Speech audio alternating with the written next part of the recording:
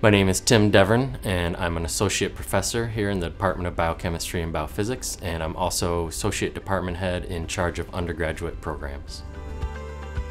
So our research in my lab is about plants. We study tomato plants, and we also study green algae.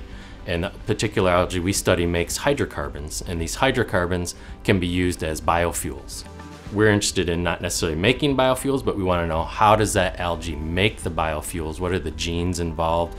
The thing that drives students to come to my lab and research on the algae is really the biofuels and the global warming and CO2 emissions problem. Most people these days, you know, accept that that's a problem and they want to they want to do something to try and solve that problem. We're doing the basic research that will open the door to maybe in 20, 30, or even 50 years from now will allow for the production of better biofuels and reduce the CO2 emissions.